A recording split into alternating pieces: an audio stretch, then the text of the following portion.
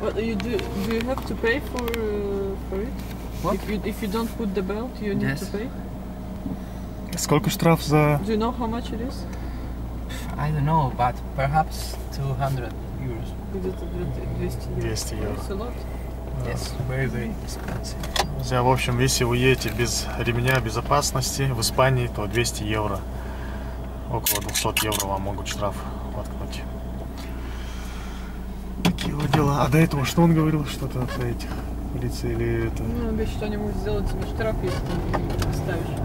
Если, если не ставишь ремень. А, ну да, все. Что пока все. Смотрите Анзор ТВ. Двигаемся в Голливуд, солнечную Калифорнию. Находимся в Испании.